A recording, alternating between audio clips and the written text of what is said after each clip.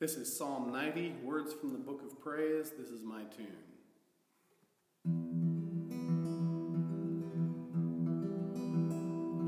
Lord, you have been since you shaped all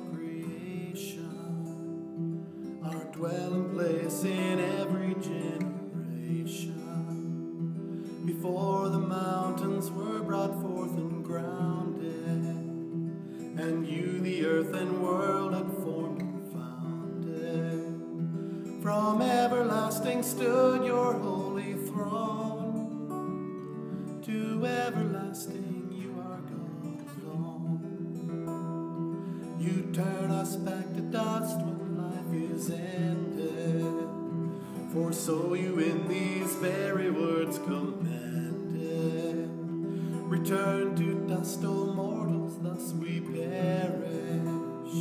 Brief is our life and vain the things we cherish. A thousand of our years are in your sight. A day gone by, a watch that ends the night. We're swept away as by a mighty river. Like fleeting dreams are we in our endeavor like tender grass that springs up in the morning, like flowers that for a while the earth adorning, unfold and blossom in the early sun. By evening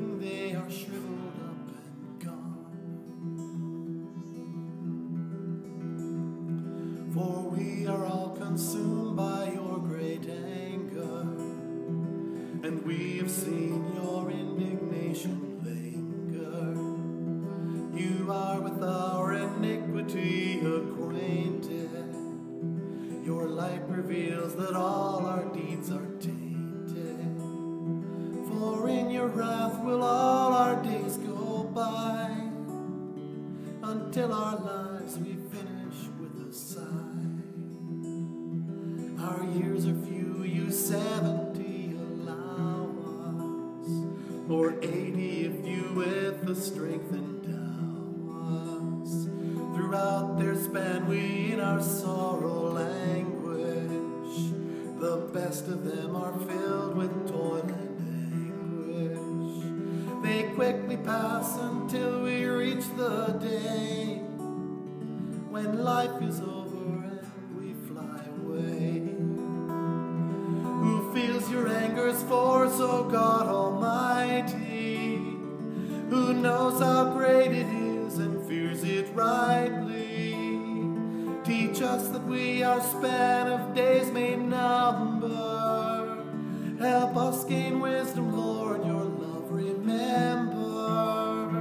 We for your mercy and compassion yearn.